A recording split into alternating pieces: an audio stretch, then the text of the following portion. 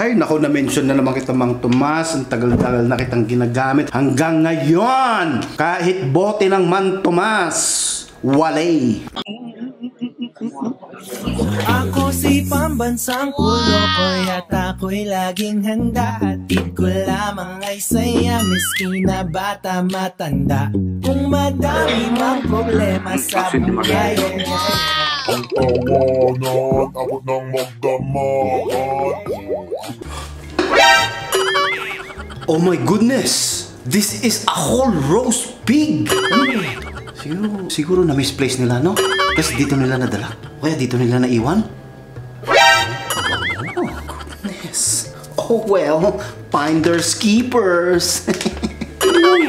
Mm. Wow, this is so beautiful. Look at that, you guys. A whole roast pig. Pero, kidding aside, mga best friends, actually, this is from Mike's Lechon. Yes, Mike, you, want, you guys wanna see Mike? There he is, right there, right there. Oh, ayan po si Mike, mga kaibigan. He's also Ilocano here in uh, Las Vegas, but they're in Henderson, maybe like 20 minutes away from Las Vegas, something like that, you know what I'm saying? But anyways, Mike, sinabi niya sa akin about his uh, lechon business. Actually, he told me that he is the very first person who did lechon or uh, roasting here in Las Vegas. Wow, you, the very first Filipino, Ilocano pa, ang pinakaunang nag-roast ng mga pig, ng mga sibutyon dito sa Las Vegas. And meron din siyang sinabing secret sa akin mga best friends. He told me the secret of cooking a very, very, very, very, very perfect roast whole pig. You guys wanna know what that is? He said, no, I'm not gonna tell you guys. That's his secret, okay? It's just between me and him. But anyways, you guys, if you guys wanna try this one, but of course, I'm gonna try it first, okay? And I'm gonna tell you guys what I think about this whole roast pig. With no further ado, guys, let's eat. Make sure you guys are eating something there, okay? I'm not even gonna eat rice because eating this one, I don't think I'll be able to eat rice and then this one at the same time. Because as much as possible, I wanna eat a lot of this. Okay, here we go. Are you ready? You wanna hear some more firecrackers? Oh my goodness. Like a music to my ears. Mhm. Oh, oh, mainit pa mga best friends. Yes. Oh my goodness. And we get some uh, Mang Tomas over here. Mm, Napo. Woo! Look at that. Look at that. It's still uh, hot.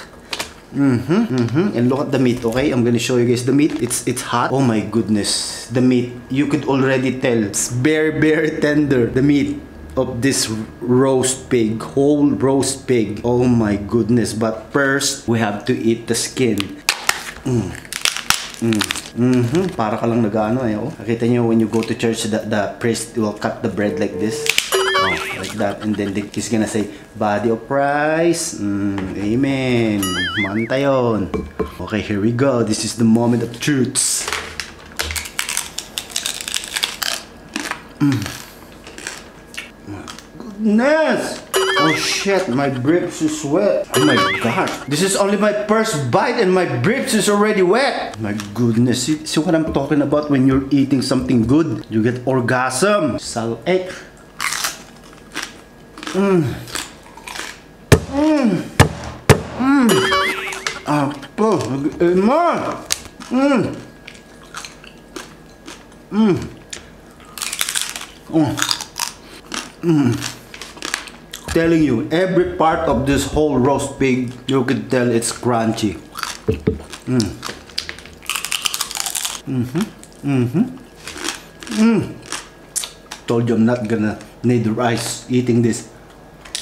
Mm. It's still steaming, steamingly hot.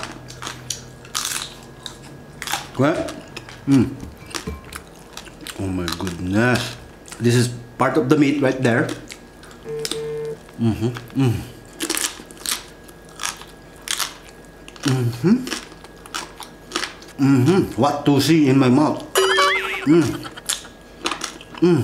Let me get some tissue.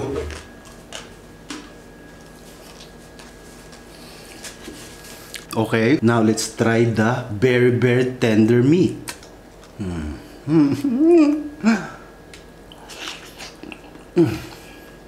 Talking about tender. This is very tender. Mm. Mm. Guys, this reaction right here, this reaction, this is the real, okay? Oh my goodness. Oh my goodness, the meat is so tender, not just the the skin that's crunchy, even the meat is very tender.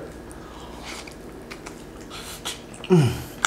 Oh my goodness, Mike. Mm-hmm. Mm. Nga. Mm-hmm. Mm. And of course, it goes with cocks. I don't have rice, but at least I have Cox. More of the skin, of course. My favorite. Every time I eat something like this. Mm. Mm. Mm-hmm. Mm. You know, it's been a while since I ate lechon, huh? Pretty much everything was sibuchon, something like that. You hear that? I'm sure you're also telling yourself it's music to your ears. Mm. Mm.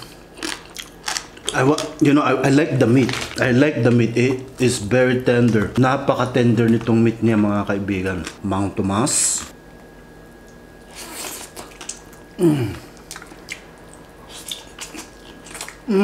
Now I know some of the people na mga nagmumukbang mga kaibigan, they don't wanna talk. It's because, especially when they're eating something good, they don't even wanna talk. They just keep on eating. Oh my goodness. Same thing what I feel right now. I don't wanna talk. I just wanna keep on eating. But of course, I gotta tell you guys how this whole roast pig tastes like. Mm. Mm-hmm. Salito. Irmas na na. Mm-hmm. Mm. Nagsarangsang. Mm-hmm. Mm. It's like the 4th of July over here. A lot of fireworks. and you know what, guys? Mike told me that if you guys order a whole roast pig from him, you guys are gonna get three bottles of Mang Tomas. Ay, nako na-mention na naman kita Mang Tomas. Ang tagal-tagal na kitang ginagamit. Hanggang ngayon, kahit bote ng Mang Tomas, walay. Mhm. So, I put some more Mang Tomas over here. Mm, ang sarap ng meat. Mm. Grabe.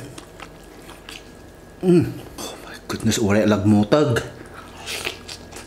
More of the skin, ha? Mm. Mm-hmm, talit.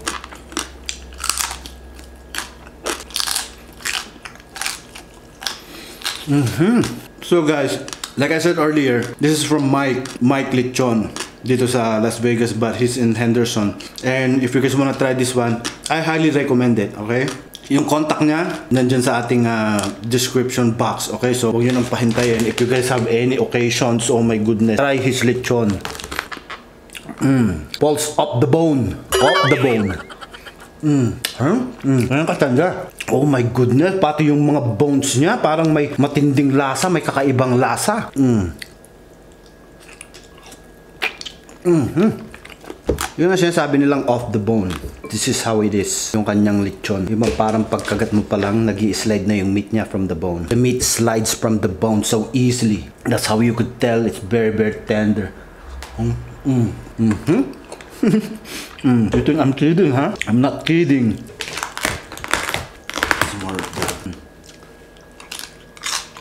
Mm. Mm. Yapot ti sarangsang na na ya.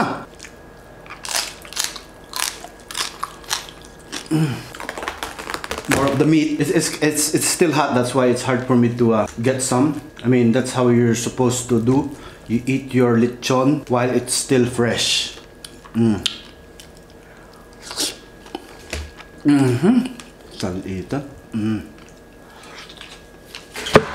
Yung meat niya talaga, it's... Kasi um, uh, uh, there's a lot of lechon out there, you know. The meat, it gets dry. Mm. Mm-hmm. More of the skin.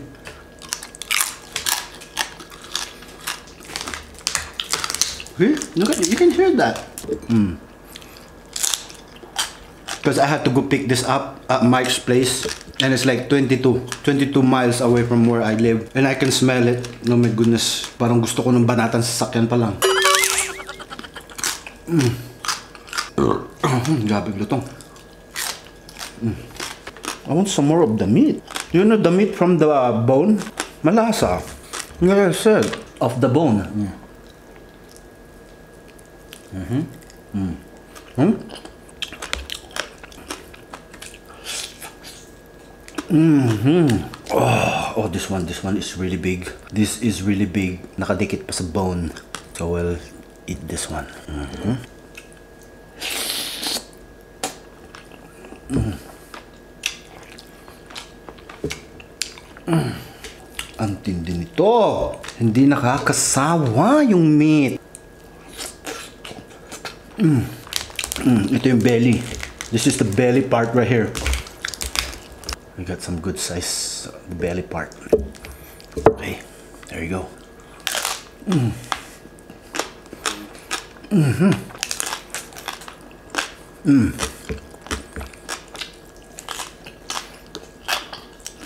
Mm-hmm. I don't know what to say anymore. This is just too good. As you can see, the part that I ate eh, busog ko. Mm, more meat.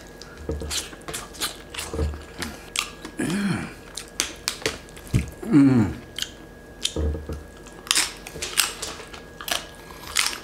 More of the skin. I love the skin. It's my favorites. Mm. Mm-hmm. Nangai. Hindi ma.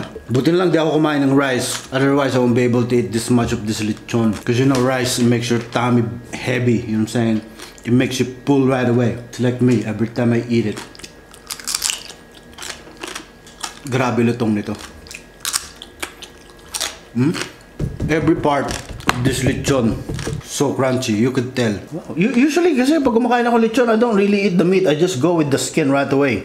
But this one, the, the meat is really good. May lasa yung meat niya, not just a regular lechon meat. There's there's a taste. Mm.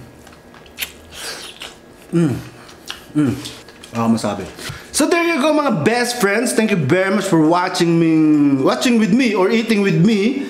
As you can see right in front, in front of, see, tingnan nyo dahil sa sobrang sarap, nabubulol ako. In front of me is a whole roast pig from Mike. And like I said, if you guys wanna order this one, this is really something different, my best friend, itong lechon niya. Because he told me, there's a, there's a way for him to uh, cook it in like in a different way compared to like other people that are doing the roasting. Siya, kakaiba. I wish I could tell you guys, but uh, with the with the respect, sa akin na lang yun. It's just between me and Mike. But anyways, Mike's Lechon, yung contact number niya mga best friends, especially my friends friends here in Las Vegas, Henderson, and the whole Nevada. Okay? Yung contact ni Mike nandyan sa ating description box. Okay? So, until next video, bye!